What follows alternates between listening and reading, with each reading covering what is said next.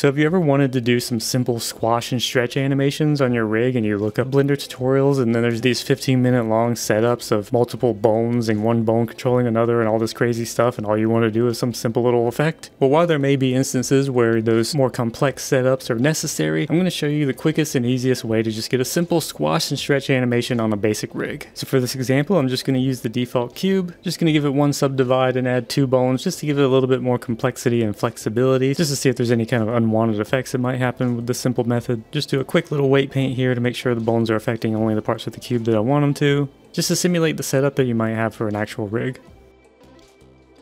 As you can see, the bones are affecting the cube the way I want them to.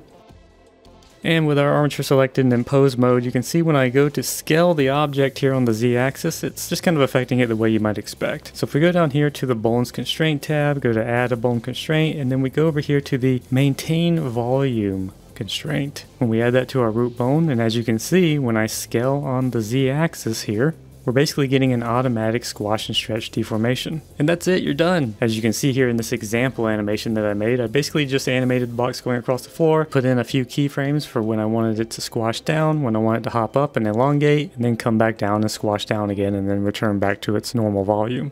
So there you go. Very simple, very quick, and very easy. Hope it was helpful. Thanks for watching.